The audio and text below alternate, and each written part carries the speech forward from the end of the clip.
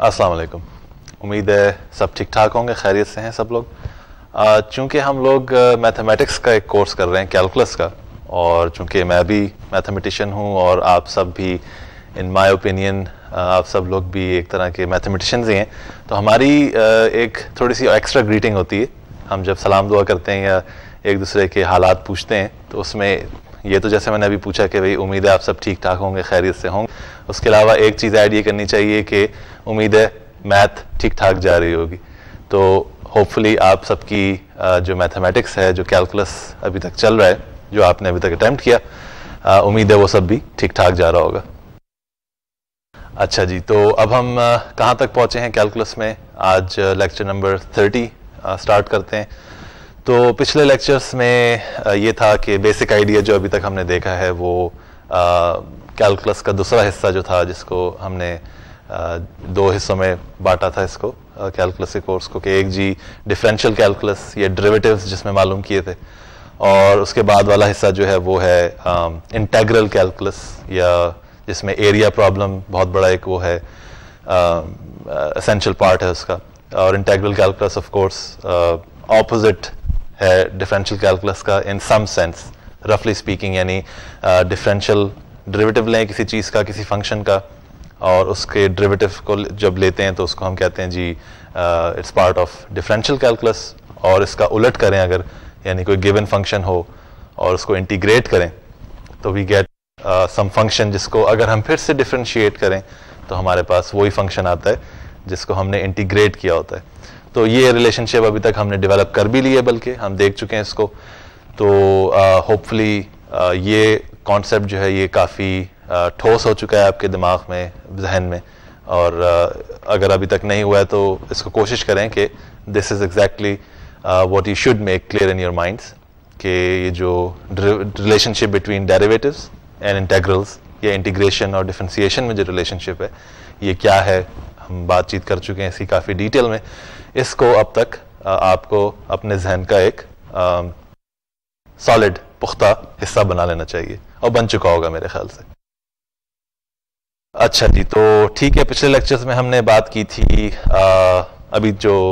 मैंने कहा integral calculus की इंटीग्रेशन की बात की थी तो उसमें हम देख चुके हैं पूरा डिफाइन कर चुके हैं कि जी इंटीग्रेशन होती क्या है एंटी डेरिवेटिव क्या होता है it's another way of saying integral of a function is the same as the anti derivative हमने देखा था। फिर सबसे बड़ा जो कॉन्सेप्ट जो डिस्कस किया था पिछले लेक्चर्स में, और जो एक तरह से फिलोसॉफिकली बड़ा चैलेंजिंग एक कॉन्सेप्ट है, वो ये था कि जी इंटीग्रेशन जो है या एंटी डिफ्रेंसीशन जिसे कह लें it's kind of you can interpret that as finding the area under a given under the curve या under the graph of a given function तो ये अभी तक हम देख चुके हैं इसको। इसमें डेफिनेट इंटेग्रल की बात की थी, फिर हमने उसको डिफाइन किया था इन टर्म्स ऑफ़ लिमिट्स तो उसमें देखा था कि ऑफ़ कोर्स हमने एरिया अगर हमारे पास एक ग्राफ दिया हुआ था फ़ंक्शन का, उसको हमने कहा कि जी इसके नीचे हिस्सा जो एरिया है वो मालूम करना है और confined by the x axis तो उसको हमने रेक्टेंगल्स में डिवाइड किया सब डिवाइड किया, फिर उनका जो सब डिवीज़न थी उसको बहुत ज़्यादा सब डिवीज़न में कन्वर्ट कर दिया। और एक तरह से हमने कहा था कि जी लिमिट ले लीजिए as n goes to infinity तो आपके पास हज़ारों, करोड़ों, लाखों जो आपके रेक्टेंगल्स थे, वो हज़ारों की तादाद में इस तरह से आपके पास आते थे। कॉन्सेप्ट ये था कि हज़ारों की तादाद क्या, बल्कि इसको आप इन्फिनिटली मैनी रेक्टेंगल्स को अगर कंसिडर करेंगे, यानी उसमें फिर हमने लिमिट देखा था as n goes to infinity where n was representing the number of ये जो रेक्टेंगल्स बनाए थे आपने। तो इस तरह से हमने देखा था कि एरिया अंडर द कर्व मालूम किया जा सकता है। और ये जो एरिया अंडर द कर्व मालूम किया था इन टर्म्स ऑफ़ इसकी हमने एक डेफिनेशन दी थी लिमिट्स में, यानी लिमिट्स की टर्मिनोलॉजी में, वो एक समेशन भी था, उसमें एक सम लिया था हमने area of all the rectangles और फिर उसका लिमिट ले लिया था। तो इसको हमने डेफिनेट इंटेग्रल के तौर पे डिफाइन कर दिया था। तो ये हमारे पास डेफिनेशन थी डेफिनेट इंटेग्रल की, और वहाँ से हमने कहा था कि जी, इस तरह से हमने डिफाइन किया है। कि इंटीग्रेशन जो है, वो एरिया अंडर द कर्व मालूम करने के बराबर है। इस तरह से इसकी डेफिनेशन हमने बनाई थी। तो ठीक है, बहुत कुछ इसमें हमने फिर ये भी किया। इमीडिएटली पिछले लेक्चर में हमने देखा था कि डेफिनेट इंटेग्रल्स को एवेल्यूएट कैसे किया जाता है। यानी अगर आपके पास ज़ाहिर सी बात है कि इसकी डेफिनेशन तो हमारे पास है डेफिनेट इंटेग्रल की, जिसमें एक लिमिट है और साथ में एक सम है। और लिमिट ऐसा है कि जिसमें आपकी जिस नंबर का आप लिमिट ले रहे हैं वो इन्फिनिटी को अप्रोच कर रहा है पॉजिटिव इन्फिनिटी को। तो ज़ाहिर सी बात है कि हमने बल्कि कुछ किए भी थे आ, आज के लेक्चर में एक और एग्ज़ाम्पल भी करेंगे इसकी। तो वही बात है कि डेफिनेशन काफ़ी हैवी ड्यूटी सी है यानी ठीक ठाक कॉम्प्लिकेटेड सी है। कैलकुलेशन करें तो बहुत बड़ी कैलकुलेशन आ सकती हैं अगर आ, आपका आ, जो फ़ंक्शन था एफ़ ऑफ़ एक्स अगर कॉम्प्लिकेटेड लुकिंग है यानी उसका फॉर्मूला अगर कॉम्प्लिकेटेड सा है तो ये सम लेने में एक तो प्रॉब्लम होगी और फिर कोर्स उसका फिर लिमिट आपको लेना होगा। तो ये काफ़ी हैवी ड्यूटी कैलकुलेशन हो जाती है लेकिन this is exactly how you do it यानी जो राइट डाउन टू कहते हैं ना जैसे कि आप अगर if you go down to the basics this is how you should evaluate the area under the curve थोड़ा सा ये रिव्यू हो गया रिव्यू uh, हो गया I am sorry of of the stuff we have done before तो आज फिर हम इसी कॉन्सेप्ट को मज़ीद डेवलप करते हैं। तो आज का जो लेक्चर है, उसका टॉपिक क्या है, उसका एजेंडा क्या है, इसको देख लेते हैं। आज का जनाब टॉपिक जो है, वो है first fundamental theorem of calculus और एजेंडा कुछ यूँ है कि सबसे पहले हम देखेंगे कि ये first fundamental theorem of calculus होता क्या है। फिर उसके बाद देखेंगे हम जनाब के ये जो डेफिनेट इंटेग्रल और हमने जिसकी बात अभी मैंने की थोड़ी देर पहले और हम देख चुके हैं इसको पिछले लेक्चर्स में इसके दरमियान और इनडेफिनेट इंटेग्रल जो हमने पहले देखा था उनके दरमियान क्या रिलेशनशिप है इसके बारे में थोड़ी सी बातचीत कर लेंगे। आ, उसके बाद हम एक और थ्योरम देखेंगे जिसे कहा जाता है mean value theorem for integrals ये जब हमने डेरिवेटिव्स की बात की थी अगर आपको याद है तो वहाँ पे भी एक हमने थ्योरम देखा था। डेरिवेटिव्स के बारे में। जिसका नाम, उसका नाम भी था मीन वैल्यू थ्योरम तो ऑफ़ कोर्स उसमें हमने कुछ बड़े मज़ेदार रिजल्ट्स देखे थे। तो उसी तरह का एक, यहाँ पे एक मीन वैल्यू थ्योरम है, जो कि इंटीग्रेशन के हवाले से डिफाइन हुआ है। इसको भी देखेंगे कि ये क्या चीज़ है। और ये जो average value of a function जो है, ये हम आखिर में देखेंगे। और इसको, खैर, देख लेंगे कि क्या चीज़ है। तो अब इसको स्टार्ट करते हैं। ये एजेंडा हो गया आज का। क्या किस चीज़ के बारे में बातचीत करनी है? तो स्टार्ट करते हैं पहले टॉपिक से जो कि एक बहुत ही क्रूशल टॉपिक है कैलकुलस का। अच्छा तो first fundamental theorem of calculus जो है इसको हमें देखना है। तो अब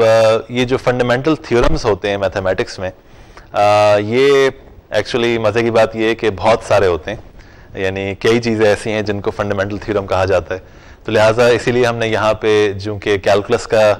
एक क्रूशल फंडामेंटल थ्योरम देखना है तो चूँकि एक और भी देखेंगे हम आगे चल के तो इसको हम कहते हैं first fundamental theorem of calculus तो क्योंकि फंडामेंटल से मुराद ये है कि ये इतना बेसिक है, इतनी बेसिक बात करता है ये, इतनी ज़रूरी बात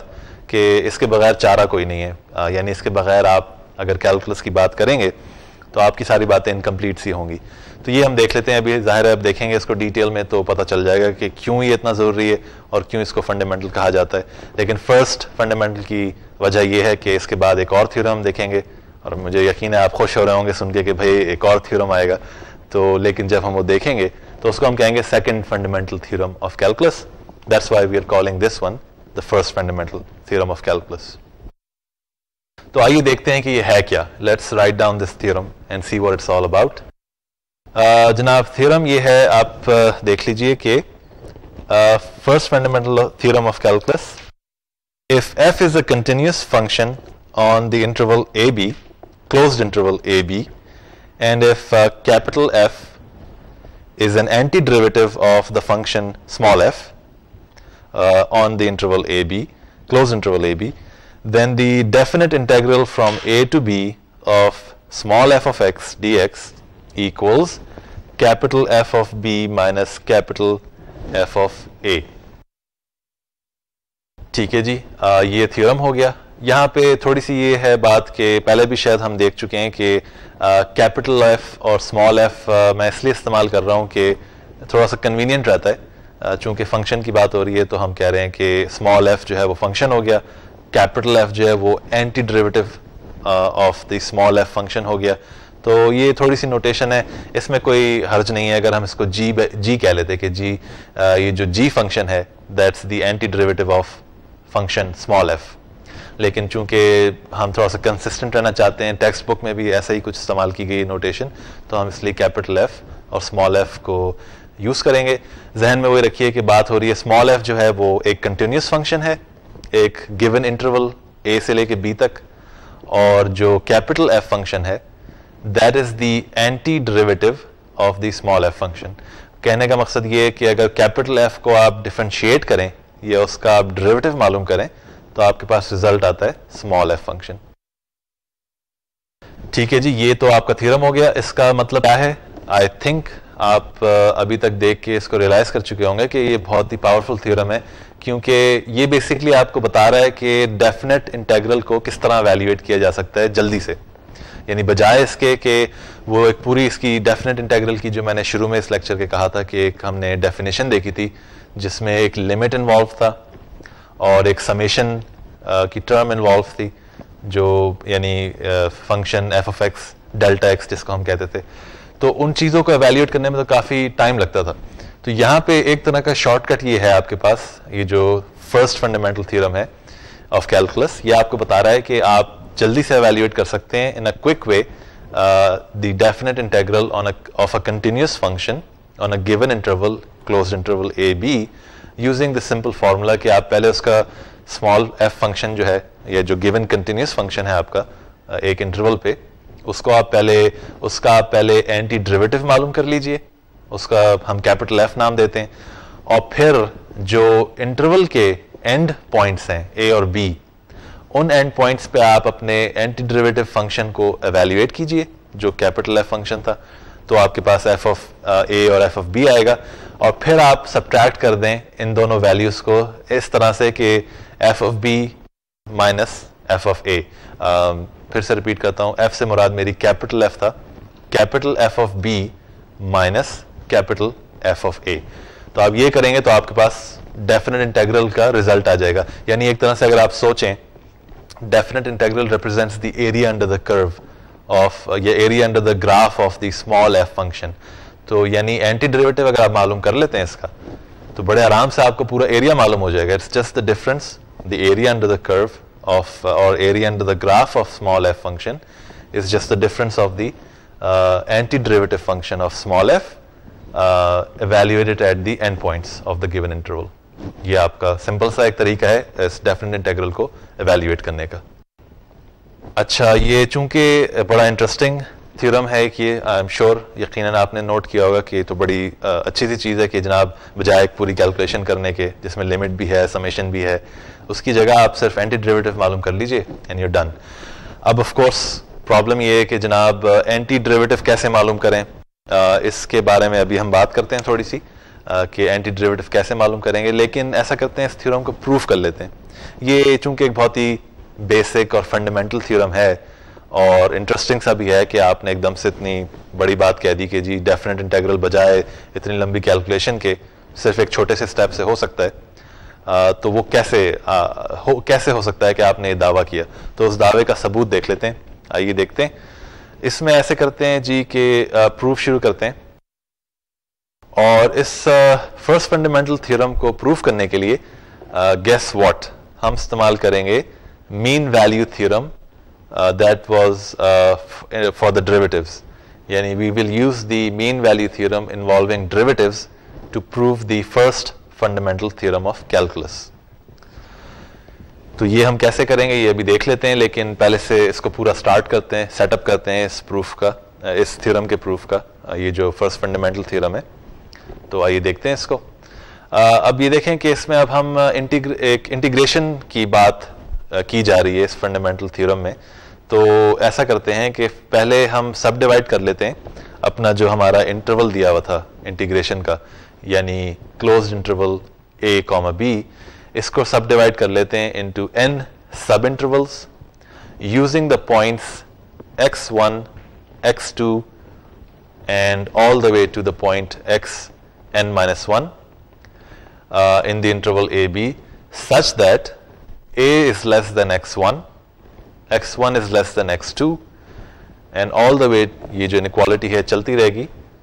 all the way to x n minus one and that has to be less than b तो जनाब, ये आपने पहला स्टेप किया है इस थ्योरम के प्रूफ में। यानी वही बात है कि क्यों किया मैंने ये स्टेप ये इसलिए किया कि मेरे पास एक डेफिनेट इंटेग्रल के बारे में क्लेम किया गया है कुछ।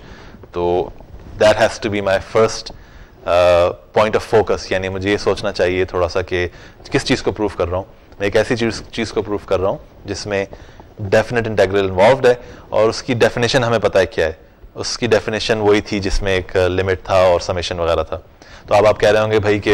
ऐसे प्रूफ ऐसे थ्योरम का क्या फ़ायदा जिसके प्रूफ में इतनी लंबी चौड़ी डेफिनेशन आ जाए जिसको हम अवॉइड ही करना चाह रहे हैं? तो उसका जवाब ये है जनाब के प्रूफ कर लीजिए। वही मैंने पहले भी कहा था कि it's a proof you just want to see once in your lifetime एक बार देख लें और यकीन कर लें कि हाँ वाकई ये हो सकता है। उसके बाद फ्रीली इसका इस्तेमाल कीजिएगा। तो that's why we are going to use this you know this whole definition of the definite integral to prove this thing तो ये हमने इसमें ये किया है कि बेसिकली जो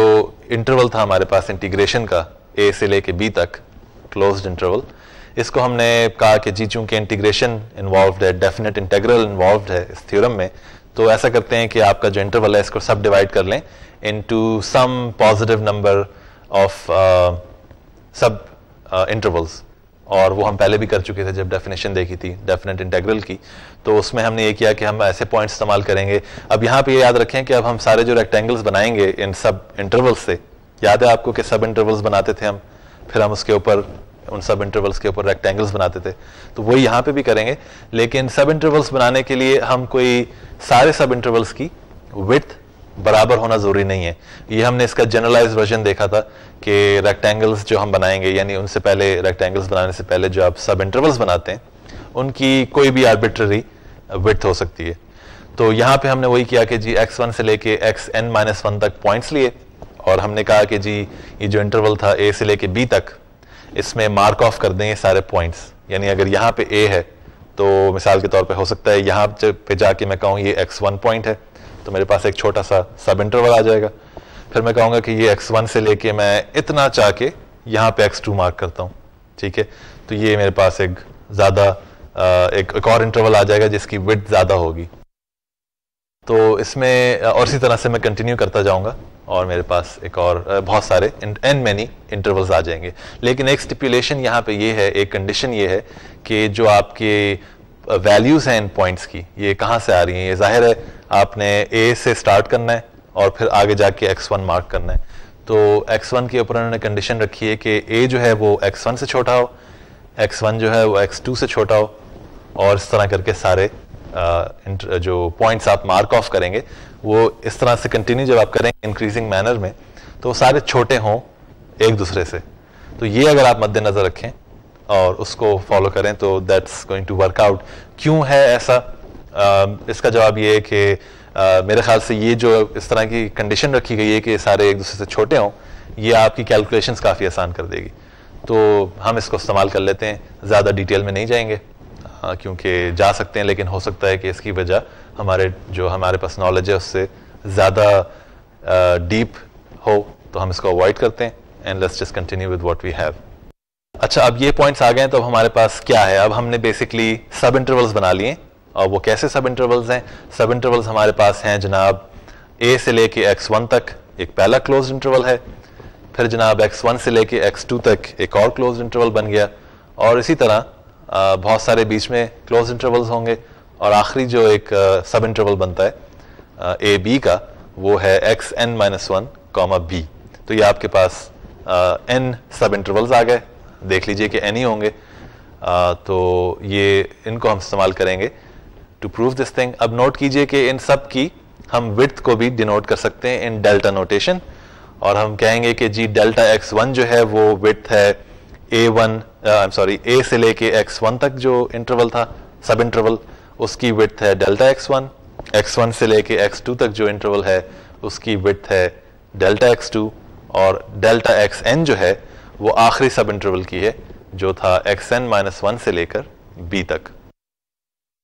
तो ये आपके पास नोटेशन अब हम डेवलप कर रहे हैं टू प्रूव दिस थ्योरम और डेल्टा नोटेशन अगर आपको होपफुली याद होगी कि अगर मैं कहता हूँ डेल्टा एक्स टू जैसे यहाँ पे हमने अभी देखा तो ये बराबर होगा X two minus X one के, यानी आउटर पॉइंट जो डिफाइन कर रहा है इंटरवल का, जो अपर लिमिट कह लीजिए minus the lower end point या लोअर लिमिट ये हम देख चुके हैं पहले I think you're all comfortable with this अच्छा अब अगर आपको याद है कि जो थ्योरम की स्टेटमेंट थी, उसमें ये कहा गया था कि जो कैपिटल एफ़ फ़ंक्शन है, वो है anti derivative of the small F function. तो यानी कहने का मतलब ये है कि अगर मैं एफ़ प्राइम ऑफ़ एक्स लेता हूँ या डिफ्रेंशिएट करता हूँ कैपिटल एफ़ को F capital F prime of X वो बराबर होगा स्मॉल एफ़ ऑफ़ एक्स के। That's what it means to say that capital F is an anti derivative of small F of X तो अब इसको इस्तेमाल करते हैं इसके बारे में कुछ देखते हैं, क्या हम कह सकते हैं, इसका क्या, इससे क्या किया जाता है, क्या किया जा सकता है इसमें देखें कि चूँकि कैपिटल एफ़ एक एंटी डेरिवेटिव है स्मॉल एफ़ का for all X in the interval A B it's pretty obvious that F of X capital F of X satisfies the requirements of the mean value theorem involving derivatives on each of the in, subintervals we just defined. तो ये एक मैंने काफ़ी powerful statement कही है। इसमें I think you can see how this is done इसके बारे में थोड़ा सा गौर कीजिएगा कि जो आपका मीन वैली थ्योरम था उसकी कंडीशन आप टेक्स्ट बुक में देख लें कि वो क्या उसकी स्टेटमेंट है। और यहाँ पे फिर नोट कीजिए कि जो हमने अभी तक बातें की हैं इंटरवल्स देखे और ये जो हमारी कंटिन्यूस uh, फ़ंक्शन है उसका एक एंटी डेरिवेटिव है तो ये सारी रिक्वायरमेंट्स मीट होती हैं कि नहीं होती? Mean value theorem for derivatives की। तो ये आपके ऊपर छोड़ता हूँ। You can look at this and we'll continue with the proof अच्छा अब हम mean value theorem for derivatives को इस्तेमाल करते हुए हम ये कह सकते हैं कि हर एक सब इंटरवल में जो हमने अभी बनाए, कुछ एक ऐसा एक ऐसा पॉइंट एग्जिस्ट करता है, जिस पे अगर हम फ़ंक्शन को फ़ंक्शन के बारे में हम कुछ कह सकते हैं तो इसको लिख लेते हैं कि हम कहना क्या चाह रहे हैं।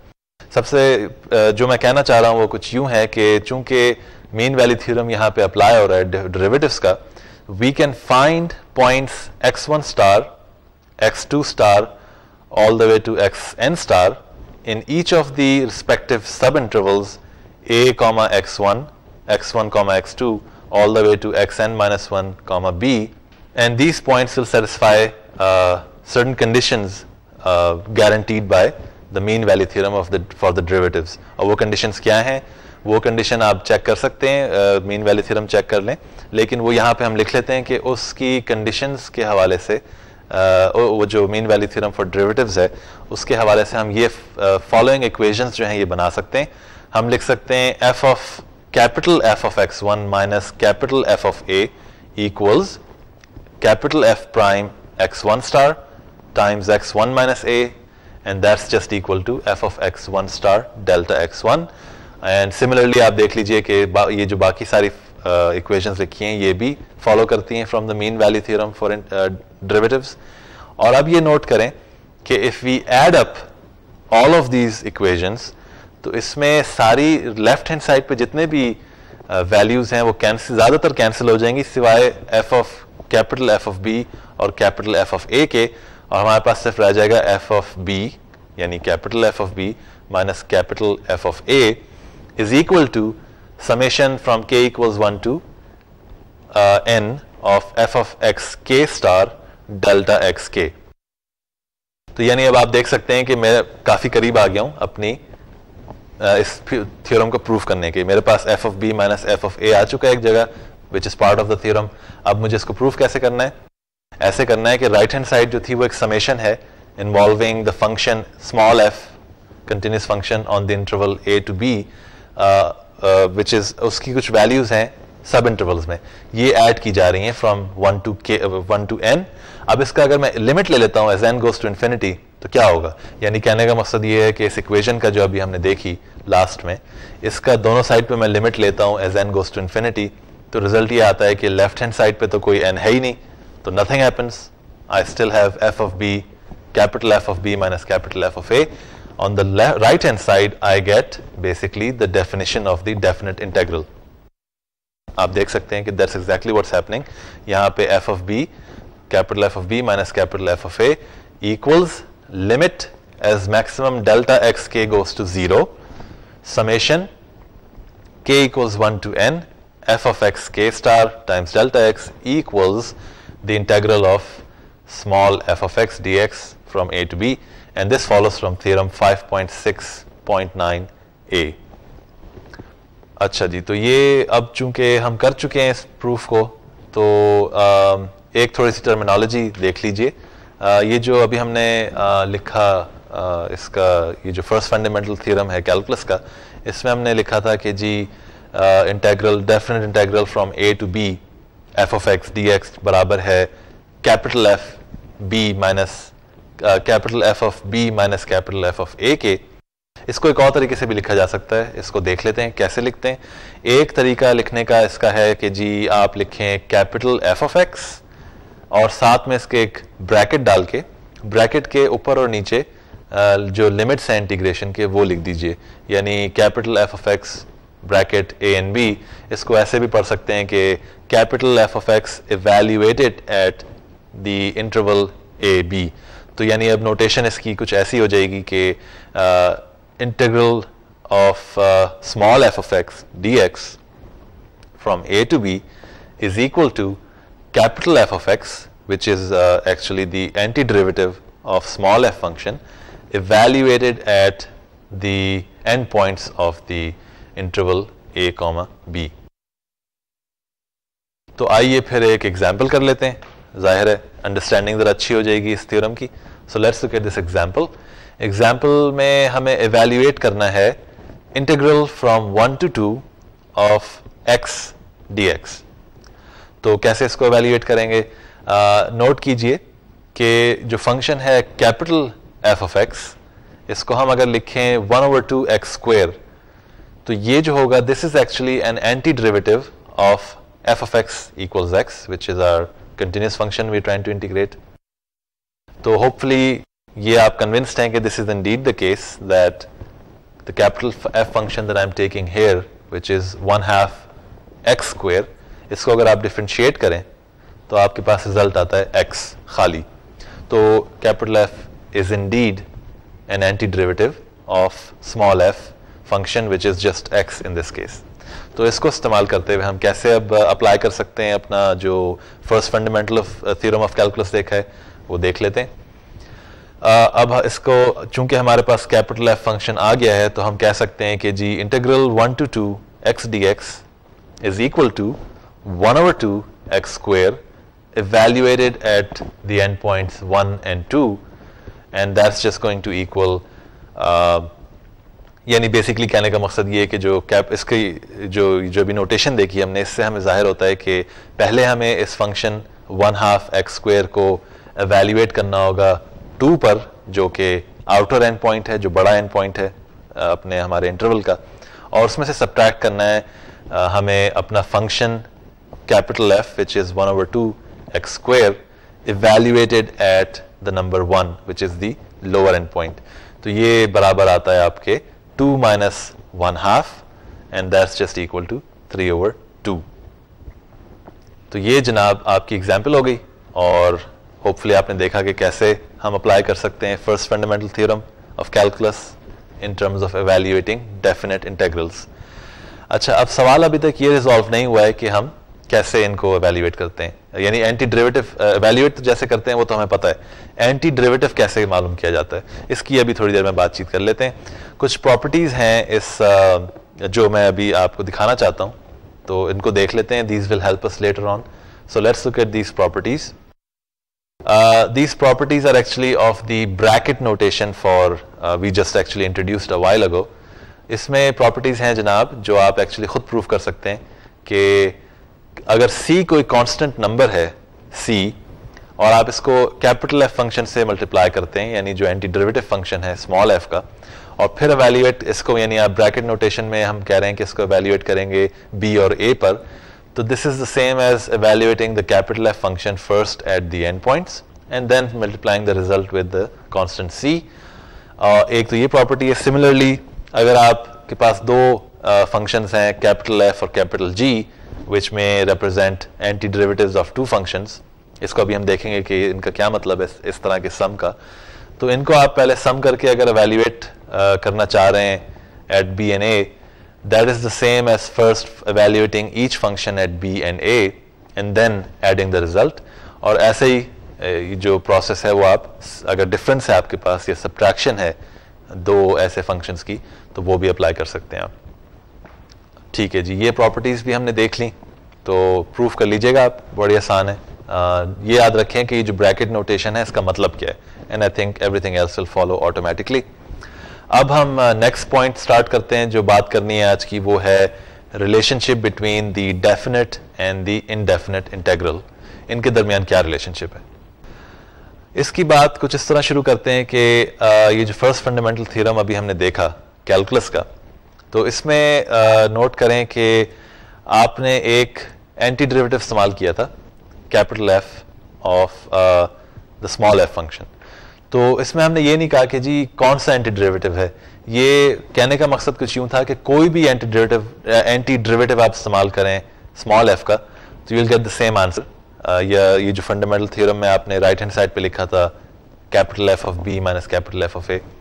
तो ये फिर भी वो रिज़ल्ट आएगा। इसका छोटा सा एक प्रूफ कुछ यूँ हो सकता है अगर आप देखें कि अगर आपके पास एफ़ है capital F is any anti derivative of the small F function then by theorem 5.2.2 all others यानी all other antiderivative will have to have the form um, capital F of x plus c. यानी they only differ by a constant. तो ये देख लें कि इसके हवाले से हम अगर एवेल्यूएट करते हैं मिसाल के तौर पे अगर capital F of X plus C कोई और एंटी डेरिवेटिव है हमारे स्मॉल एफ़ फ़ंक्शन का तो हम कह सकते हैं कि इसको अगर एवेल्यूएट करें बी और ए पे यानी हम बेसिकली अप्लाई कर रहे हैं अपना first fundamental theorem of calculus तो रिज़ल्ट ये कैलकुलेशन जो रिजल्टिंग कैलकुलेशन होगी वो आपके सामने है, और देखें कि रिज़ल्ट वही आता है जो आना चाहिए, जो हम चाहते हैं आए। And I think this is pretty obvious तो इस इक्वेशन को जो अभी देखिए हमने, इसको हम लेबल कर लेते हैं कैपिटल ए इसको हम बाद में इस्तेमाल करेंगे। अच्छा तो अब ये कैलकुलेशन हमने देख ली और इसको हमने नाम दे दिया कैपिटल ए का। इसको अब इस्तेमाल करते हैं to see the relationship between the definite and the indefinite integrals that we have talked about so far तो इसमें ये करते हैं कि ज़ाहिर है अगर इंडेफिनेट इंटेग्रल है, मैं लेता हूँ अपने स्मॉल एफ़ फ़ंक्शन का तो रिज़ल्ट क्या आएगा? ये हम जानते हैं, पहले कर चुके हैं कि will be the anti derivative of small F function जिसको हम कह रहे हैं कैपिटल एफ़ लेकिन हम साथ में एक कांस्टेंट ऐड करते थे। याद है आपको कि अगर एंटी डेरिवेटिव ले रहा हूँ या इंटेग्रल ले रहा हूँ इंडेफिनेट इंटेग्रल ले रहा हूँ मैं आ, किसी फ़ंक्शन का यहाँ पे स्मॉल एफ़ ऑफ़ एक्स तो उसका जो हम जनरल तरीका था लिखने का जवाब का वो था कि जी it's the anti derivative capital F whatever that function may be plus some constant C because we had a theorem which says कि अगर कोई है और हो सकता है कई एंटी डेरिवेटिव्स हों अगर वो कई हैं तो वो बेसिकली डिफर करते हैं बाय अ कांस्टेंट ठीक है तो ये देख इसको लिख लेते हैं कि हम पहले क्या देख चुके हैं। हम ये देख चुके हैं कि जी integral Indefinite integral of f of x dx is equal to capital F of x plus c where the capital F function is the antiderivative of the small f function. Now अब ये देखिए कि ये तो हमारे पास एक result पहले से स्टैब्लिश था अब जो ए इक्वेशन हमने देखी थी थोड़ी देर पहले उससे हम ये कह सकते हैं कि definite integral from a to b of the small f function will now have to equal the indefinite integral of f of x evaluated at in, in bracket notation from b uh, at b and then evaluated at a. यानी क्या कहने का मकसद है? मकसद ये कि हमने ए में देखा था कि जी आ, ये जो F of X plus C है इसको अगर आप इंटीग्रेट एवेल्युएट करते हैं at B and subtract the result from that of the same thing evaluated at A यानी ब्रैकेट नोटेशन में हम लिख लेते हैं F of X plus C को तो रिज़ल्ट जो होता है बराबर होता है आपके definite integral of small F of X के। That's what the capital A ये जो बिग ए हमने लिखा था इक्वेशन का नाम थोड़ी देर पहले that's what that equation was saying तो वो हमने यहाँ पे इस्तेमाल किए कि जी जो डेफिनेट इंटेग्रल है it's equal to the anti derivative evaluated at the end points that's how we get this result तो रिलेशनशिप बेसिकली इससे ये ज़ाहिर होती है कि ये जो आपका between definite and indefinite integrals that to evaluate the definite integral of some function on a given interval uh, ये उसी की बरा, उस चीज़ के बराबर है कि अगर आप कहें कि जी पहले आप इनडेफिनेट इंटेग्रल मालूम कर लें स्मॉल एफ़ का और फिर उस रिज़ल्ट को एवेल्युएट कर लें using the first fundamental theorem of calculus तो ये बेसिकली सिंपल सा रिज़ल्ट है, एक तरह का इंटुएटिवली भी क्लियर है कि जी हाँ होना तो कुछ ऐसा ही चाहिए कि जो इंटेग्रल के ऊपर हमने लिमिट्स लगा दिए थे, इनको अगर हटा दें और फिर रिज़ल्ट पहले मालूम कर लें कि एंटी डेरिवेटिव है क्या स्मॉल एफ़ का, और फिर इसको ब्रैकेट नोटेशन में लिख के फ़र्स्ट फंडामेंटल थियरम अप्लाई करें we get the result that we would like it to be the way that way basically तो ये एक तरह का रिलेशनशिप है between definite and indefinite integrals अच्छा तो एक एग्ज़ाम्पल कर लेते हैं।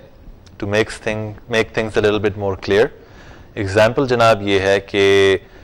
using the first fundamental theorem of calculus find the area under the curve y equals cosine x over the interval या over the closed interval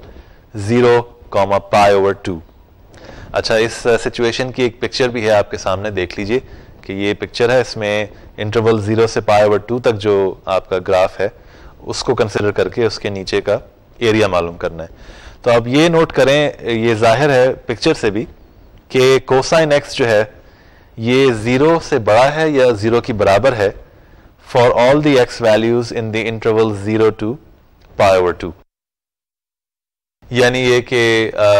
जो function की values हैं, यानी जो वाई वैल्यूज़ हैं corresponding to the X values in zero to pi over two ये सारी positive हैं। या तो नॉन नेगेटिव बल्कि कहना चाहिए क्योंकि ज़ीरो भी हो सकती हैं।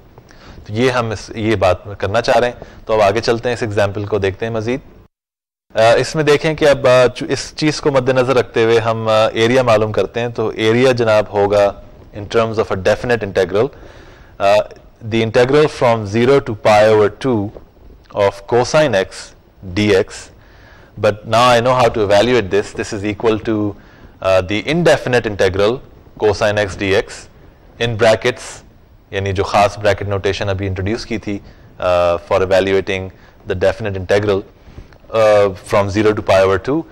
indefinite integral जो है कोसाइन एक्स का वो होता है साइन एक्स क्योंकि ज़ाहिर है साइन एक्स को अगर डिफ्रेंशिएट करेंगे तो कोसाइन एक्स रिज़ल्ट आएगा। और अब साइन एक्स को हमने एवेल्युएट करना है at the end points zero and pi over two using the first fundamental theorem of calculus तो अब ये हम देख सकते हैं कि this result will be sine of pi over two minus sine of zero equals one तो जनाब ये आपका एक एग्ज़ाम्पल हो गई। इसमें मैंने नोट कीजिए जानबूझकर कांस्टेंट जो है सी उसको ज़ीरो चूज़ किया था। It's my choice it could be मकसद ये है कि sine of X plus two जो है, वो भी एंटी डेरिवेटिव होता कोसाइन एक्स का। लेकिन मैंने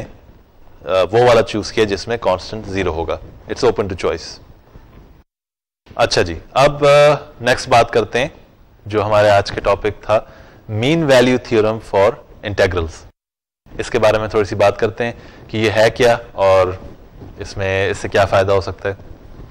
तो आइए देखते हैं, इसके बारे में कुछ लिख देता हूँ मैं, चूँकि थोड़ा सा इन्वॉल्व थ्योरम है तो let's write some stuff about it इसमें सबसे पहले तो एक पिक्चर बनाते हैं, और ये पिक्चर आप देखिए कि इसमें कुछ चीज़ें हैं जो हमें कंसिडर करनी होंगी। पिक्चर में एक कंटिन्यूस uh, फ़ंक्शन दिया हुआ है स्मॉल एफ़ या अब मैं खाली इसको एफ़ कह लेता हूँ। Uh, और एक इंटरवल दिया हुआ है ए कॉमा बी नोट करें कि uh, अगर मैं एक एम कैपिटल एम लेता हूँ एक number and I use it to designate the maximum value of F on A B यानी जो हाईएस्ट वैल्यू ले सकता है फ़ंक्शन यानी अगर ग्राफ में बात करें तो जो हाईएस्ट पीक बनती है ग्राफ की वो एम हो जाएगी, इसको एम वैल्यू नंबर दे देते हैं का नाम देते हैं एम कैपिटल एम और जो मिनिमम वैल्यू है इस फ़ंक्शन की ए बी पर इंटरवल में, उसको हम स्मॉल एम कह लेते हैं। ठीक है, ये हम पहले बात कर चुके हैं मैक्सिमम मिनिमम वैल्यूज़ की। Now let's say that if we draw a rectangle of height capital M and another rectangle of height small M then notice from the picture that it's clear that the area under the curve of f is at least as large as the area of rectangle with height m and it's no larger than the area of the rectangle with height capital M.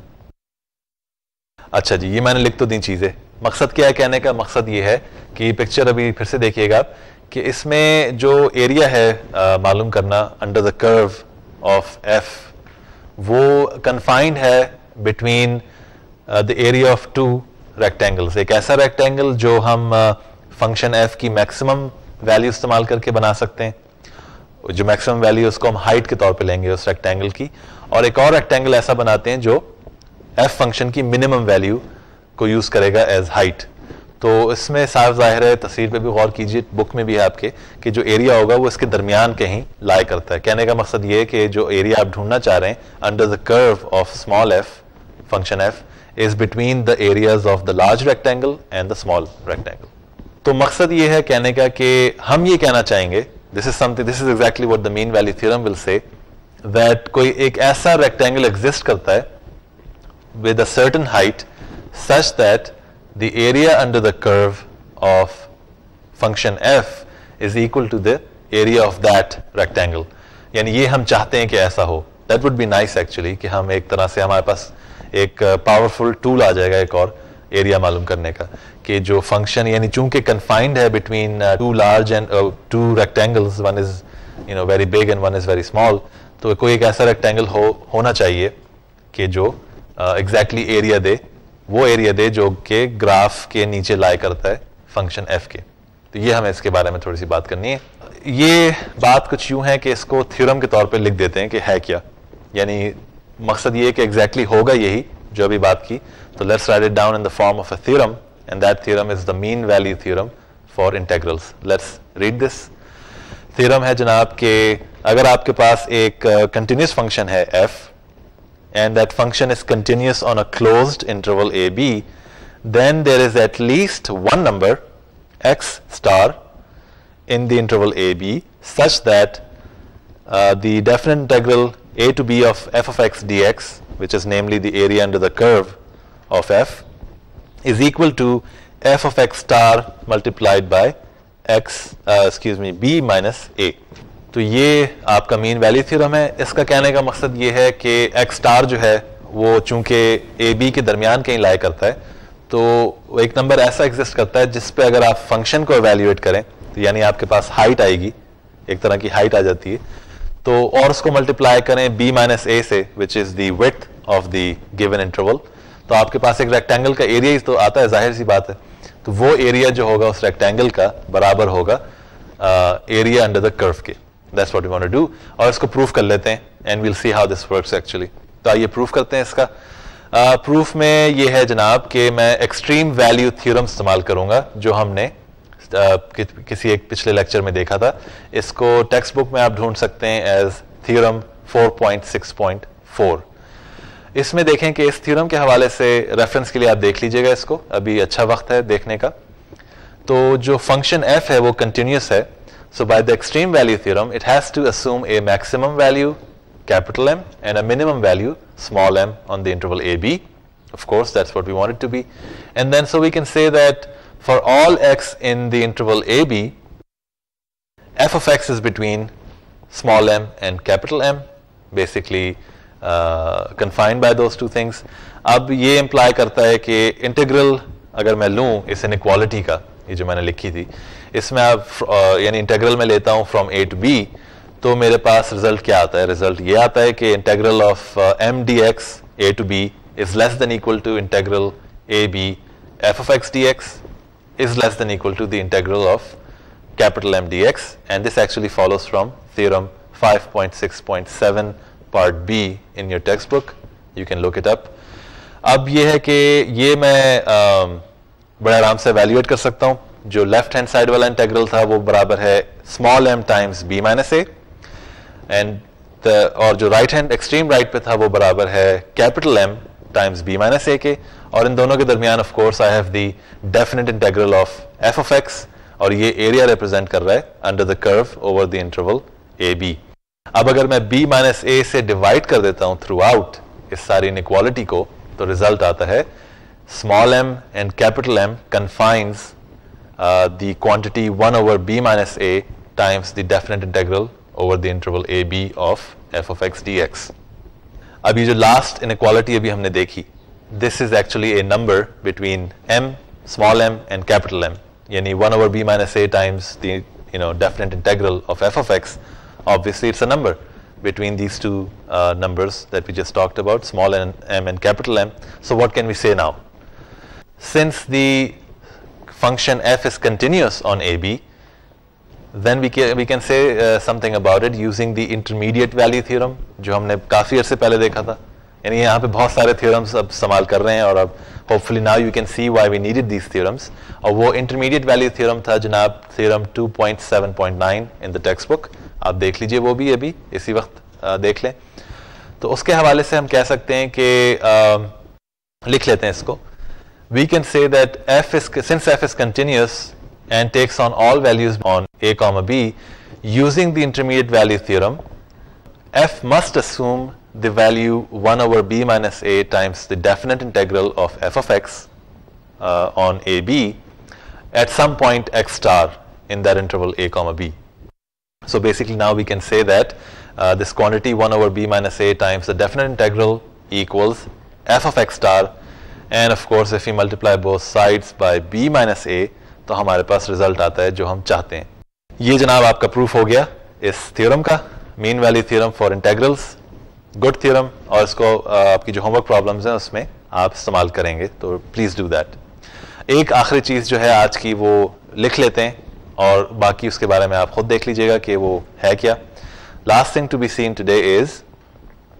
the average value of a function तो इसकी जनाब definition आपके सामने है। Definition है कि जी if f is an integral if s f is integrable on the interval AB, then the average value of the function f on the interval AB is defined as 1 over b minus a times the definite integral f of x dx. ये जनाब आपकी वही value है जो अभी हमने देखी proof uh, में of the mean value theorem for the integrals तो इसके बारे में गौर फ़िक्र आप कर सकते हैं in your own good time थोड़ी सी होमवर्क प्रॉब्लम्स भी हैं इसके हवाले से तो आप करेंगे तो you see what this means actually बाकी सवाल of course we can entertain on the email तो ये जनाब, आज का लेक्चर हो गया। Hopefully we had fun very important theorems we saw today इनके बारे में गौर फ़िक्र कीजिएगा। सवाल चलते रहेंगे। नेक्स्ट टाइम फिर आपसे मुलाकात होगी। Thank you for your time अल्लाह हाफिज़।